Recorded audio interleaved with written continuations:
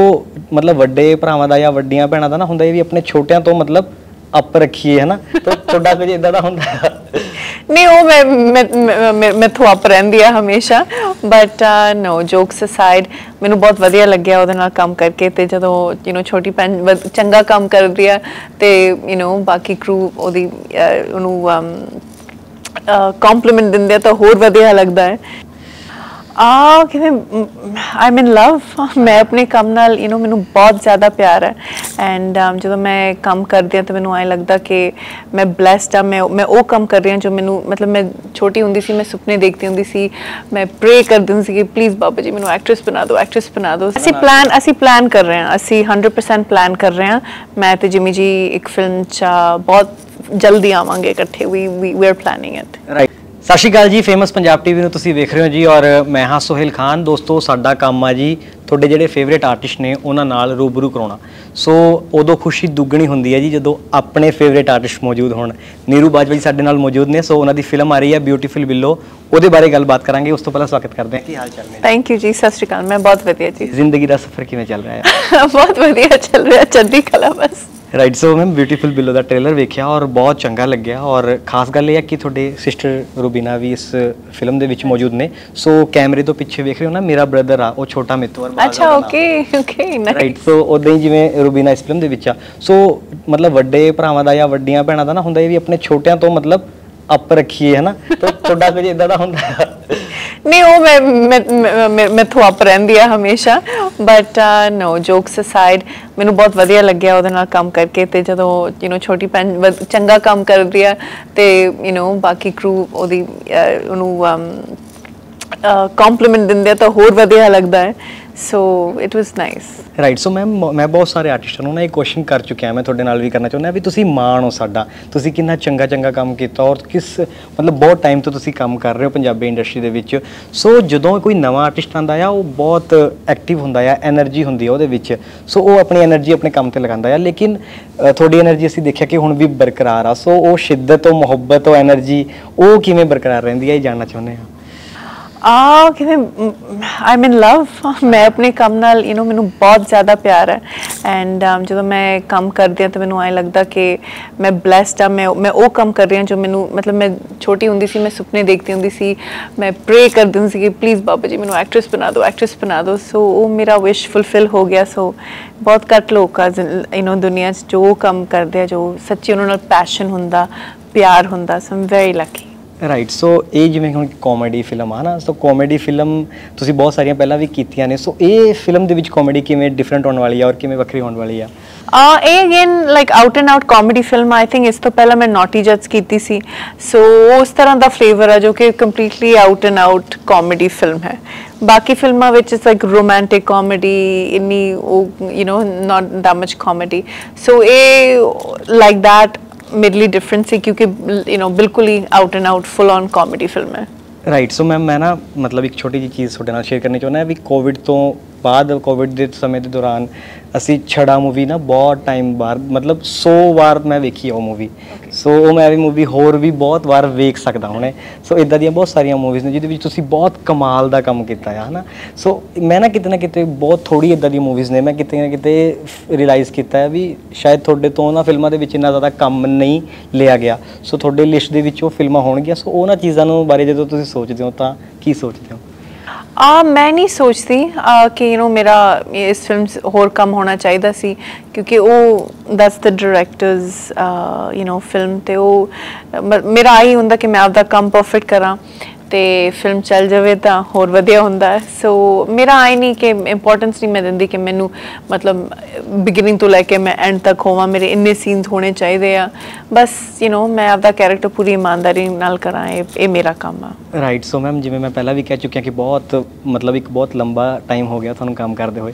ਸੋ ਗੁਰਦਾਸ ਮਾਨ ਸਾਹਿਬ ਨੇ, ਹਰਭਜਨ ਮਾਨ ਸਾਹਿਬ ਨੇ ਔਰ ਰੋਸ਼ਨ ਤੱਕ ਤੁਸੀਂ ਬਹੁਤ ਸਾਰੇ ਕਲਾਕਾਰਾਂ ਨਾਲ ਕੰਮ ਕੀਤਾ ਹੈ ਸੋ ਕਿਹੜੀਆਂ ਉਹ ਚੀਜ਼ਾਂ ਨੇ ਜੋ ਮਤਲਬ ਪੁਰਾਣੇ ਸਮੇਂ ਦੇ ਵਿੱਚ ਜੋ ਬਦਲੀਆਂ ਨੇ ਹੁਣ ਤੱਕ? ਆ ਜੋ ਬਦਲਿਆ ਨਹੀਂ ਹੁੰਦਾ। ਆ, ਨਹੀਂ ਸਾਰੇ ਵਧੀਆ। ਮੈਂ ਮੈਂ- ਮੈਂ ਕਹੂੰਗੀ ਕਿ ਸਾਰਿਆਂ ਨਾਲ ਕੰਮ ਕਰਕੇ ਮੈਨੂੰ ਬਹੁਤ ਵਧੀਆ ਲੱਗਿਆ। ਮਾਨ ਸਾਹਿਬ ਤੋਂ ਲੈ ਕੇ ਅਹ, ਹਰਭਜਨ ਮਾਨ ਜੀ ਤੋਂ ਲੈ ਕੇ ਯੂ نو ਅੰਮ੍ਰਿਤ ਮਾਨ ਅਹ, ਰੋਸ਼ਨ ਪ੍ਰਿੰਸ ਤਰਸੇਮ ਜੀ ਦਲਜੀਤ ਜੀ ਗਿੱਪੀ ਜੀ ਸਾਰਿਆਂ ਨਾਲ ਸਾਰ- ਸਰਤਾਜ ਜੀ ਜਮੀ ਜੀ। ਆਹ, ਮੇਰਾ ਸਾਰਿਆਂ ਨਾਲ ਹੀ ਬਹੁਤ ਵਧੀਆ ਐਕਸਪੀਰੀਅੰਸ ਰਿਹਾ। ਰਾਈਟ ਸੋ ਮੈਮ ਮੈਂ ਬਹੁਤ ਸਾਰੀਆਂ ਤੁਹਾਡੀਆਂ ਫਿਲਮਾਂ ਨੇ ਚਾਹੇ ਹੁਣ ਦਲਜੀਤ ਦੋਸਾਂਝ ਸਾਹਿਬ ਨਾਲ ਤੁਹਾਡੀ ਜੋੜੀ ਬਹੁਤ ਕਮਾਲ ਲੱਗਦੀ ਆ। ਸੋ ਇੱਕ ਜੋੜੀ ਹੋਰ ਵੀ ਆ ਜੋ ਬਹੁਤ ਪੰਜਾਬ ਦੇ ਲੋਕ ਪਿਆਰ ਕਰਦੇ ਨੇ ਉਹ ਹੈਗੀ ਆ ਜਿਮੀ ਸ਼ੇਰਗਿੱਲ ਭਾਜੀ ਨਾਲ ਹਨਾ? ਸੋ ਉਹਨਾਂ ਨਾਲ ਤੁਸੀਂ ਫਿਲਮਾਂ ਕੀਤੀਆਂ ਨੇ ਹਨਾ? ਮੁੰਡੇ ਯੂਕੇ ਦੇ ਵੀ ਕੀਤੀ ਸੀਗੀ ਔਰ ਮੇਲ ਕਰਾ ਦੇ ਰੱਬਾ ਨੇ ਤਾਂ ਪੰਜਾਬੀ ਸਿਨੇਮੇ ਨੂੰ ਦੁਬਾਰਾ ਖੜਾ ਕੀਤਾ ਸੀ। ਸੋ ਹੁਣ ਤੁਸੀਂ ਕੋਈ ਪਲਾਨ ਕਰ ਰਹੇ ਹੋ ਆਉਣ ਵਾਲੇ ਸਮੇਂ ਦੇ ਵਿੱਚ ਅਸੀਂ ਪਲਾਨ ਅਸੀਂ ਪਲਾਨ ਕਰ ਰਹੇ ਹਾਂ ਅਸੀਂ 100% ਪਲਾਨ ਕਰ ਰਹੇ ਹਾਂ। ਮੈਂ ਤੇ ਜਿਮੀ ਜੀ ਇੱਕ ਫਿਲਮ ਚ ਬਹੁਤ ਜਲਦੀ ਆਵਾਂਗੇ ਇਕੱਠੇ ਵੀ we are planning it right so ma'am 뮤직 ਕਿਸੇ ਵੀ ਫਿਲਮ ਦਾ ਜਦੋਂ ਹੁੰਦਾ ਆ ਸੋ ਪੰਜਾਬੀ ਫਿਲਮਾਂ ਦੇ ਵਿੱਚ ਖਾਸ ਤੌਰ ਤੇ ਹੁਣ ਜਿਹਨੇ ਮੇਰਾ ਦਿਲ ਲੁੱਟਿਆ ਤਾਂ 뮤직 ਬਹੁਤ ਕਮਾਲ ਸੀਗਾ ਸੋ ਜਦੋਂ ਤੁਸੀਂ ਕੋਈ ਫਿਲਮ ਕਰਦੇ ਹੋ ਤਾਂ ਤੁਹਾਡੇ ਲਈ 뮤직 ਕਿੰਨਾ ਕੁ ਇੰਪੋਰਟੈਂਟ ਹੁੰਦਾ ਸੀ ਹੁਣ ਜੋ ਫਿਲਮਾਂ ਮੈਂ ਨਹੀਂ ਪ੍ਰੋਡਿਊਸ ਕਰਦੀ ਉਹ ਤਾਂ ਫਿਰ ਡਾਇਰੈਕਟਰ ਦੀ ਵਿਜ਼ਨ ਹੁੰਦੀ ਆ ਸੋ ਉਹ ਬਟ ਲੱਕਲੀ ਮੇਰੇ ਜਿੰਨੇ ਵੀ ਡਾਇਰੈਕਟਰਸ ਨੇ ਬਹੁਤ ਟੈਲੈਂਟਡ ਨੇ ਤੇ ਉਹਨਾਂ ਦੀ 뮤직 뮤직 ਸੈਂਸ ਵੀ ਬਹੁਤ ਵਧੀਆ ਰਿਹਾ ਹਰ ਇੱਕ ਫਿਲਮ ਦਾ 뮤직 ਬਹੁਤ ਅਪਰੀਸ਼ੀਏਟ ਹੋ ਹੋਇਆ ਸੋ 뮤직 ਤਾਂ ਬਹੁਤ ਇੰਪੋਰਟੈਂਟ ਆ ਹਰ ਫਿਲਮ ਲਈ ਸੋ ਬਟ ਜਦੋਂ ਆਪਣੀ ਫਿਲਮ ਯੂ نو ਸੀ ਸੋ ਉਹਦੇ ਵਿੱਚ ਮੈਂ ਪਰਸਨਲ ਇੰਟਰਸਟ ਲੈਂਦੀ ਆ ਕਿ ਜੋ ਗਾਣੇ ਮੈਨੂੰ ਪਸੰਦ ਆ ਜੋ ਮੈਨੂੰ ਚੰਗੇ ਲੱਗਦੇ ਆ ਅਹ, ਵੀ ਉਹ ਫਿਲਮ ਚ ਅਸੀਂ ਪਾਉਣੇ ਆ ਬਟ ਯਾ ਫਿਲਮ ਤਾਂ ਬਹੁਤ 뮤직 ਬਹੁਤ ਇੰਪੋਰਟੈਂਟ ਹੈ। ਸੋ ਸਾਡੇ ਨਾਲ ਇੱਕ ਫਿਲਮ ਇੰਡਸਟਰੀ ਦੇ ਵਿੱਚ ਤੁਸੀਂ ਵੇਖਿਆ ਹੋਣਾ ਕਿ ਜੋ ਗਿੱਪੀ ਭਾਜੀ ਨੇ ਔਰ ਬੀਨੂ ਭਾਜੀ ਨੇ, ਉਹਨਾਂ ਦਾ ਆਪਸ ਦੇ ਵਿੱਚ ਮਤਲਬ ਇਕੱਠੇ ਬਹਿੰਦੇ ਹੀ ਰਹਿੰਦੇ ਨੇ। ਐਮੀ ਭਾਜੀ ਦਾ ਔਰ ਗਿੱਪੀ ਭਾਜੀ ਦਾ ਘਰ ਵੀ ਨੇੜੇ ਨੇੜੇ ਆ, ਤਾਂ ਉਹ ਚਾਹ ਇਕੱਠੇ ਹੀ ਪੀਂਦੇ ਨੇ। ਕਈ ਵਾਰ ਹਨਾ, ਮਤਲਬ ਆਉਂਦੇ ਜਾਂਦੇ ਰਹਿੰਦੇ ਨੇ ਇਦਾਂ। ਸੋ ਤੁਸੀਂ ਕਦੇ ਜਦੋਂ ਇੰਡੀਆ ਆਉਂਦੇ ਹੋ ਹਨਾ, ਤੁਸੀਂ ਕਦੇ ਇਦਾਂ ਦਾ ਕੁਝ ਪਲਾਨ ਕਰਦੇ ਹੋ ਵੀ ਸਰਗੁਣ ਹੋਵੇ, ਸੋਨਮ ਹੋਵੇ ਔਰ ਸਿਮੀ ਚਹਿਲ ਇਕੱਠੇ ਬਹਿ ਕੇ ਚਾਹ ਕਦੇ ਪੀਂਦੇ ਹੋ ਤੁਸੀਂ ਇਦਾਂ? ਇਹ ਟ੍ਰਿਕ ਕੁਐਸਚਨ ਨਹੀਂ ਸਾਰੇ ਬਹੁਤ ਬਿਜ਼ੀ ਆ। ਸਾਰੇ ਬਹੁਤ ਬਿਜ਼ੀ ਆ ਤੇ ਆਈ ਥਿੰਕ ਸੋਨਮ ਜੀ ਨੂੰ ਤਾਂ ਮੈਂ ਇੱਕ ਵਾਰੀ ਮਿਲੀ ਆ ਉਹ ਵੀ ਜਿਮ ਦੇ ਵਿੱਚ ਅਸੀਂ ਮਿਲੇ ਸੀ ਬਸ ਐਂਡ ਯਾ ਹਾਂ ਨਹੀਂ ਇਹੋ ਜਿਹਾ ਪਲਾਨ ਨਹੀਂ ਬਣਿਆ। ਜੀ ਪਰ ਅਸੀਂ ਵੇਖਿਆ ਕਿ ਤੁਸੀਂ ਬਹੁਤ ਜ਼ਿਆਦਾ ਮਤਲਬ ਕੋਈ ਵੀ ਨਵਾਂ ਆਰਟਿਸਟ ਆਉਂਦਾ ਹੈ ਉਹਨੂੰ ਸਪੋਰਟ ਵੀ ਕਰਦੇ ਹੋ ਤੇ ਉਹ ਬਹੁਤ ਚੰਗੀਆਂ ਲੱਗਦੀਆਂ ਨੇ ਚੀਜ਼ਾਂ। ਔਰ ਲੋਕਡਾਊਨ ਦੇ ਵਿੱਚ ਤੁਸੀਂ ਇੱਕ ਗਾਣਾ ਵੀ ਆਇਆ ਸੀ ਤੁਹਾਡਾ ਜਿਹਦੇ ਵਿੱਚ ਬਹੁਤ ਸਾਰੀਆਂ ਸਾਡੀਆਂ ਪੰਜਾਬ ਦੀਆਂ ਕੁੜੀਆਂ ਨੇ। ਸੋ ਉਹ ਚੀਜ਼ਾਂ ਬਹੁਤ ਵਧੀਆ ਨੇ ਤੇ ਬਹੁਤ ਜ਼ਿਆਦਾ ਖੁਸ਼ੀਆਂ ਵੀ ਦਿੰਦੀਆਂ ਨੇ ਕਿ ਸਾਡੇ ਪੰਜਾਬੀ ਇੰਡਸਟਰੀ ਵਿੱਚ ਸਾਰੇ ਹੀ ਮਿਲ ਕੇ ਰਹਿੰਦੇ ਨੇ।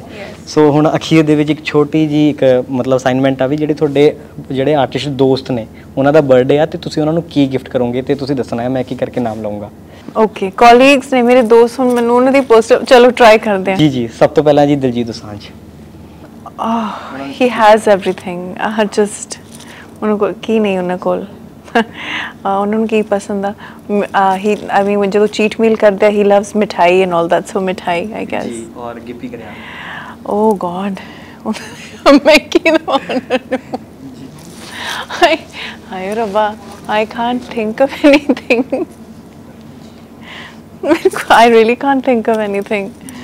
Holiday ਮੈਂ ਉਹਨਾਂ ਨੂੰ ਹੌਲੀਡੇ ਗਿਫਟ ਕਰੂੰਗੀ ਕਿ ਤੁਸੀਂ ਆਪਣੀ ਫੈਮਿਲੀ ਨਾਲ ਜਾ ਕੇ ਹੌਲੀਡੇ ਕਰੋ I think he works too much right so ਇੱਕ ਹੁਣ ਇਸ ਤੋਂ ਵੀ ਔਖਾ ਪੁੱਛਣ ਲੱਗਿਆ ਮੈਂ ਅਮਰਿੰਦਰ ਗਿੱਲ